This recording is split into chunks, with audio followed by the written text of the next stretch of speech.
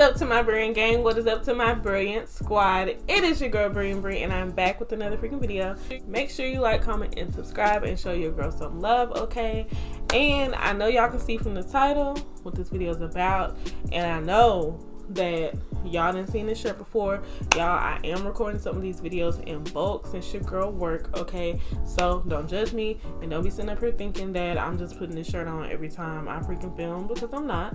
I am recording certain videos in bulk okay? So stay with me stay with me stay with me. So from the title i know y'all can see that i'm going to be doing and kind of like an advice video on being alone for the holidays slash kind of make sure that you're not alone for the holidays. Um, i really just want to tell you guys a little bit about being alone for the holidays. Although it can be a little depressing you know what i'm saying? Your girl is here to let you know to make sure that you're not alone for the holidays okay? Even if you do have to spend the holidays alone like it's not all that bad, y'all. It's just another freaking day. You know what I'm saying? It is just another day, but it is a time to be with family. Okay. Now, I did drop a story time on the one time that I spent Christmas alone, and it was very freaking depressing. Okay. I'm not gonna lie.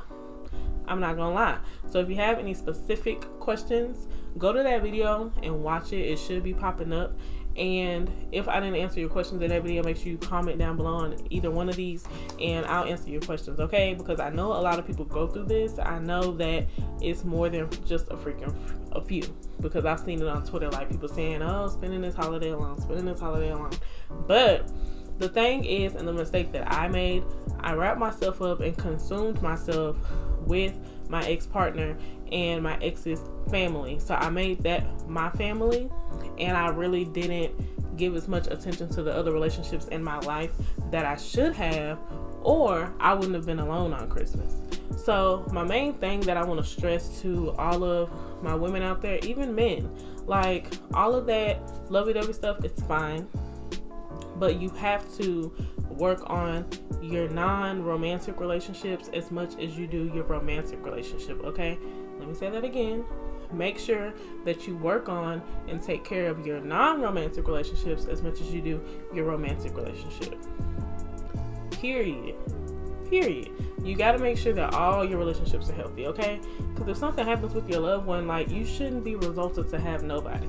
That's not the way life is supposed to be.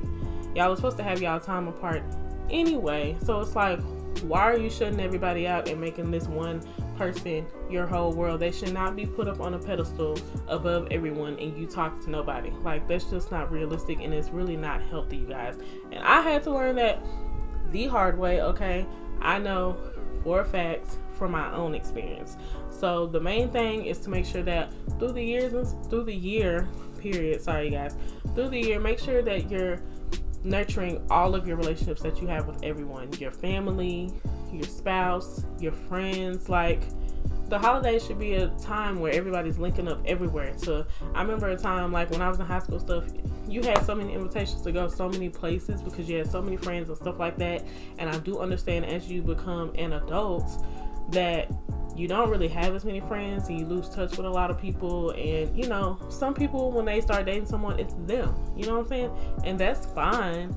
But make sure you nurture your other relationships. Like if i was nurturing my other relationships like i was supposed to when i was in that relationship i would have never been alone for christmas. Because when that relationship didn't work out or when we were going to separate that time i would have had somewhere to go i would have been able to call someone and say hey come and get me that means that I wasn't doing my part on nurturing my relationships. Okay?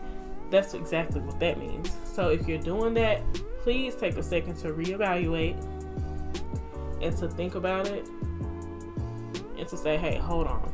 Like, I'm in love with John Doe, Jane Doe, but look, I gotta, you know, I need to go chill with my cousins and them too and keep a relationship with them and call them and make sure they good too. Keep a relationship with my friends and make sure they good too. You know, take them people out. They take me out. We gonna hang out. You know what I'm saying? Spend time with those people. Spend time with all the people that you love because tomorrow is not promised. Okay? Give them flowers today and, and not at their funeral. You feel what I'm saying? So that's my little advice video, y'all. Like, I just really want to drop a couple gems on y'all. Like, I feel like a lot of people need to hear this, and a lot of people don't say it enough.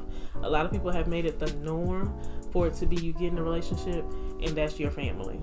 And that's right. Even if you're married, that's right. But you still have to nurture your other relationships.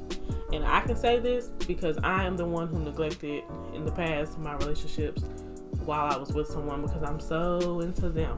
Like, it's okay to be into your person, but make a little time for everybody else to give them their space for them to fly.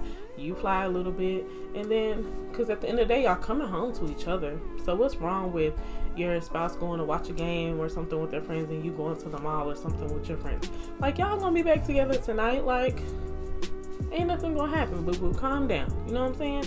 So, you guys, moral of the story of this advice video is to make sure that around these times that you actually reflect on if you checked on people like you're supposed to if you've been thankful enough for people. Don't be the person that only calls somebody when they want something or when they need something. Make sure you check on people in general okay? So every time they text you don't have to be like oh well i know she wants something. I know he wants something.